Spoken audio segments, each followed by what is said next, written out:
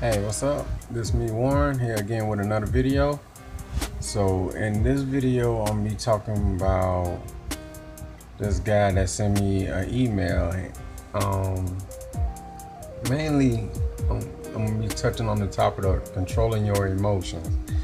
I received an email from this guy um, that recently going through a breakup with his girlfriend and stuff, and um, I already made a video about it where he can do the steps he can take to patch up his relationship and you know and move on.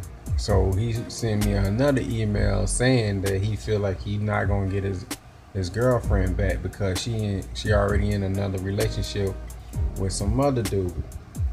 So I want to touch up on that, and you know whoever else might need to watch this video and can learn something and um go from there.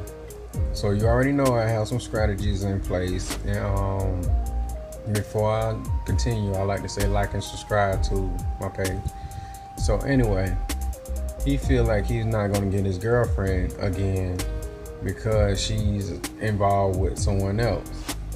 So the thing is, you shouldn't be hung up over one female. You should go out there and date other females also because she didn't get you know get stuck hung up on you.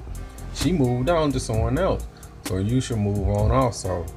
You know i mean you should look at it as her loss. So what you want to do is continue to better yourself you know what i'm saying? Um if you need to finish going through therapy if you need it if you guys out there need therapy go through therapy it might help you um, work out get your health in shape I mean, get healthy, eat, you know, the right foods and stuff like that. You know, find a hobby where you can get into, you know, better yourself. Don't sit alone moping on, about it so much. Just go out there and try to, you know, love life. It's more than the life than one person. You know what I'm saying? Once you start going out there and, you know, and start enjoying life and stuff like that, you'll slowly to start stop start to forget about her or them. If you're a female watching this, forget about them.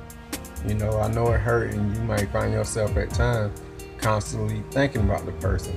That's natural, you know what I'm saying? But don't show it. Show your emotions, you know what I'm saying? Always try to remain calm, cool, and collected, You know, um, so, you know, in time, that's the only way you can heal is in time. Staying busy, working on your career and purpose and stuff like that. That's how you, you know, move past your ex. And a lot of times you want them back, but I'm gonna say this and I'm gonna let you go from there. A lot of times things fall apart in your life, so better things can come into your life. You might think that your ex was a a good thing, but it might been a bad thing. Your mind can change over time. So just give it some time, you know, and her little relationship gonna fall apart anyway, and they always come back to you.